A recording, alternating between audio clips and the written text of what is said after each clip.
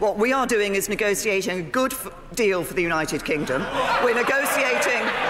We're negotiating a deal that delivers on the vote of the British people, that takes back control of our money law and borders, that ensures we leave the common fisheries policy, we leave the customs union, we leave the common agricultural policy, but we protect we protect jobs, we protect security, and we protect the integrity of the United Kingdom. Jeremy Corbyn! Mr. Speaker, under the Prime Minister's deal, we're going to spend years with less say over our laws or how our money is spent.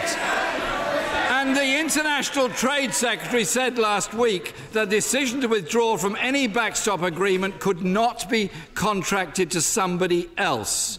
Can the Prime Minister confirm whether, under her deal, it will be the sovereign right of the UK Parliament to unilaterally withdraw from any backstop? Prime Minister! I say to the right honourable gentleman, there needs to be a backstop as an insurance policy.